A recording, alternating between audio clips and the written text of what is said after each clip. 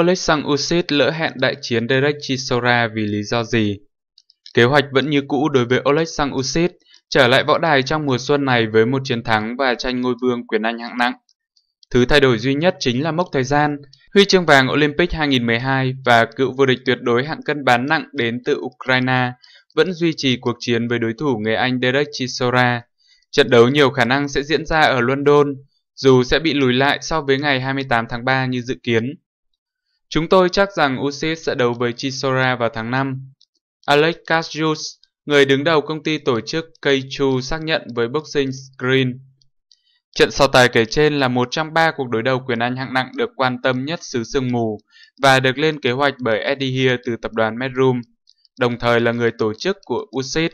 Ý định của Hear là kêu gọi trận đấu với Chisora, người từng thắng 32 trận và 9 trận thua, để bắt đầu chuỗi sự nghiệp mà tiếp theo sẽ là màn tranh hùng giữa Dylan White 27 trận thắng 1 trận thua với Alexander Povetskin 35 trận thắng 2 trận thua và trận đấu giữa Anthony Joshua cùng Kubat Pulev. Usyk, người đang bất bại 17 trận, theo lời khuyên từ bác sĩ, đã quyết định đình chỉ màn tái xuất trong năm 2020 khoảng 6 đến 8 tuần.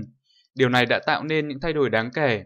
Võ sĩ thuận tay trái 33 tuổi đang hồi phục các chấn thương, bao gồm chấn thương ở cùi trỏ trái đã chỉ hoãn ở đại chiến với Murat Gazev năm 2018.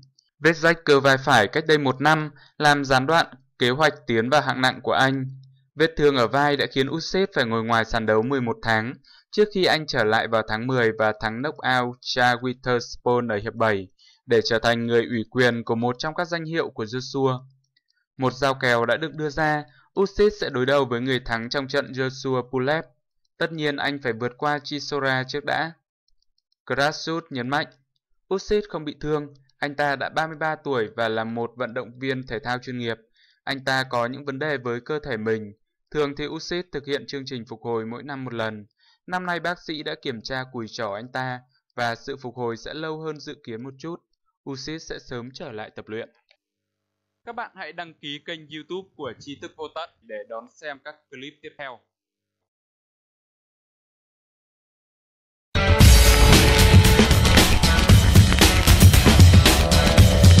Anthony Joshua sẽ từ bỏ đai WBO hay quyết đấu Oleksandr Usyk và Kubat Pulev. Anthony Joshua sẽ chọn điều gì? Tiếp tục giữ đai WBO hay từ bỏ nó để tìm kiếm những cơ hội lớn hơn?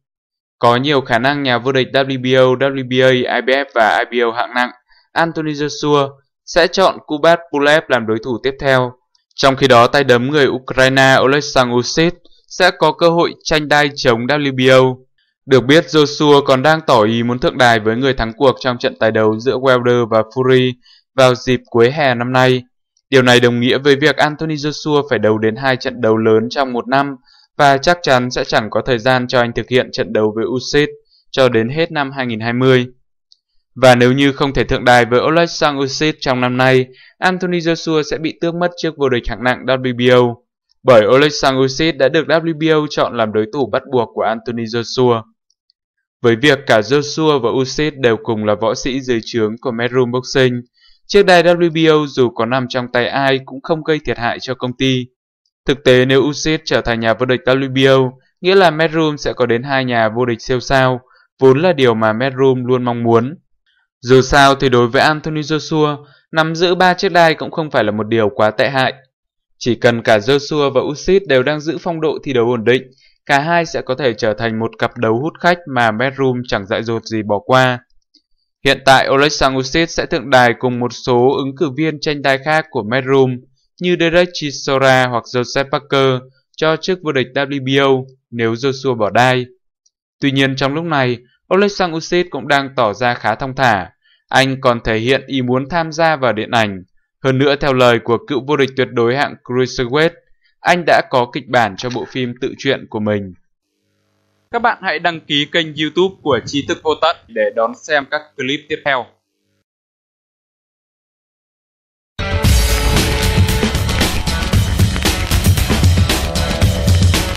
Quái vật Oleksandr Usyk và năm siêu võ sĩ đáng xem nhất của làng quyền Anh 2020 Khép lại năm 2019 với nhiều bất ngờ, 12 tháng tiếp theo hứa hẹn sẽ hấp dẫn không kém với những trận so gang kịch tính ngay từ đầu năm.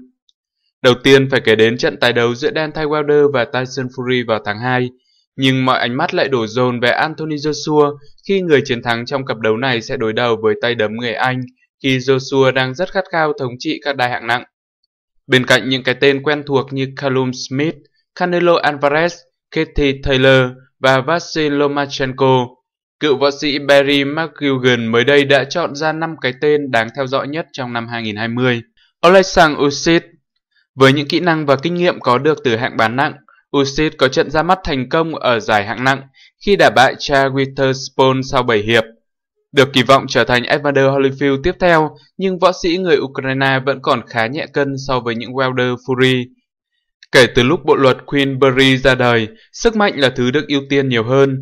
Vì lẽ đó, Usyk và đội ngũ huấn luyện cần có kế hoạch để giúp anh cải thiện về cân nặng trong tương lai. Joshua Basti Arthur Beterbiev đang là ngôi sao ở hạng nặng. Basti ở một cấp độ cao hơn, cơ hội có lẽ sẽ mở ra cho Basti nếu Beterbiev từ chối lời thách đấu giành đai IBF từ võ sĩ Trung Quốc Phan Long Minh. Nếu điều này xảy ra, tay đấm từng giành huy chương đồng tại Thế vận nội Rio sẽ được kỳ vọng có một bước tiến lớn để đối đầu với Beterbiev, giống như những gì Anthony Jader từng làm trước Sergey Kovalev. Laurence Ocollier Nhiều người nói Ocollier có lối đánh tiêu cực, nhưng nếu nhìn vào những số liệu thống kê, anh hầu như đả bại mọi đối thủ. Với sức mạnh trời phú, Ocolier được cho là sẽ có một cuộc đấu giành danh hiệu thế giới trong năm nay. Để đạt được điều đó, tay đấm 27 tuổi sẽ phải chạm trán với những tay đấm sừng sỏ hơn so với những đối thủ mà anh đã hạ gục. Luke Campbell Campbell đã áp đảo Jorge Linares ở trận đấu vào tháng 9 năm 2017, chỉ 2 tuần sau khi cha của anh qua đời, và đối đầu với Vasyl Lomachenko vào năm ngoái trong trận đấu tranh đai WBC, nhưng không may Campbell vẫn nhận thất bại trong hai cuộc chiến đó. Vì lẽ đó, võ sĩ 31 tuổi được kỳ vọng sẽ có được một danh hiệu thế giới trong năm nay. Sucker Stevenson Chàng trai mới chỉ 22 tuổi được xem là tài năng hiếm có trong làng quyền Anh. Stevenson đoạt danh hiệu vô địch hạng lông chỉ sau 13 trận đấu. Với đôi tay nhanh nhẹn, sẽ là thứ vũ khí lợi hại của tay đấm người Mỹ khi so găng với George Warrington trong năm nay. Các bạn hãy đăng ký kênh youtube của Trí thức vô tận để đón xem các clip tiếp theo.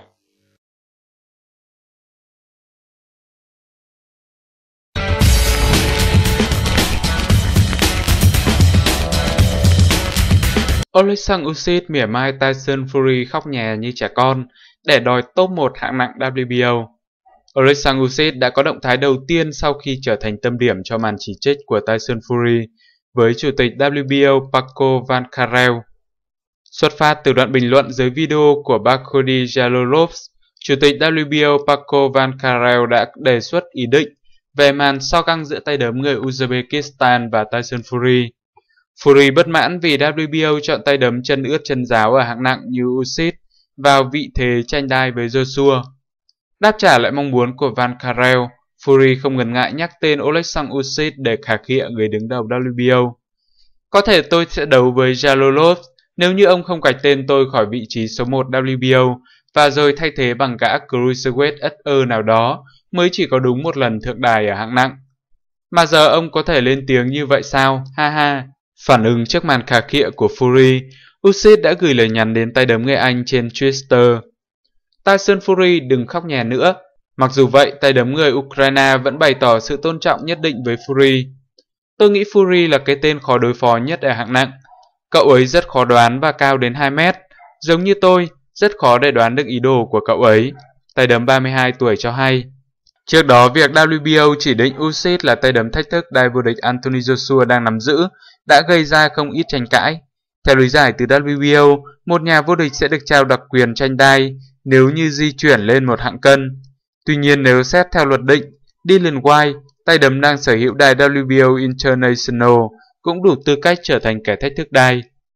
Mặt khác, quyết định gạt White sang một bên để chọn Usyk, người vừa ra mắt hạng nặng bằng chiến thắng trước đối thủ không mấy tên tuổi là Charles Witherspoon, được đồn đoán rằng có bàn tay của ông bầu quyền lực Eddie Hearn. Được biết tay đấm người Ukraine là lính mới của Medroom Boxing. Hiện tại khả năng Joshua sẽ bỏ đai WBO để tập trung cho trận bảo vệ đai IBF và xa hơn là cuộc chiến với Fury và Wilder. Nếu điều này xảy ra, Usyk sẽ tranh tài WBO với Derek Chisora hoặc Joseph Parker, hai tay đấm cũng thuộc tập đoàn Merum. Các bạn hãy đăng ký kênh youtube của Tri thức vô tận để đón xem các clip tiếp theo.